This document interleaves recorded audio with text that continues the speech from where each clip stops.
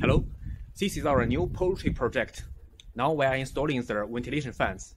We will install 19 fans for each house.